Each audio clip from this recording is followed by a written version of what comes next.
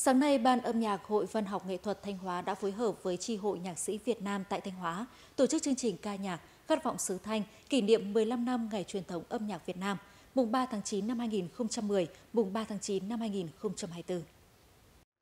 Cùng với sự phát triển của nền âm nhạc Việt Nam, những năm qua, lực lượng những người hoạt động âm nhạc Thanh Hóa ngày càng lớn mạnh cả về số lượng và chất lượng.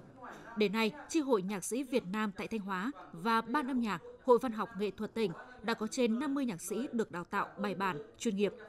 Với tinh thần lạc quan, say mê, hòa vào thực tế, các nhạc sĩ Thanh Hóa đã đi khắp các vùng miền, sáng tạo nên những tác phẩm mang đậm hơi thở cuộc sống, đồng thời đóng góp nhiều công trình nghiên cứu có giá trị cho nền âm nhạc cả nước nói chung và tỉnh nhà nói riêng.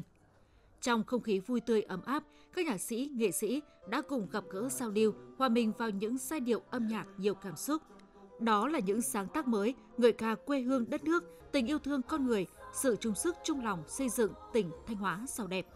Chương trình đã tạo sự gắn kết giữa các hội viên nhằm động viên khích lệ nhau trong sáng tác, góp phần vun đắp thúc đẩy nền âm nhạc ngày càng phát triển.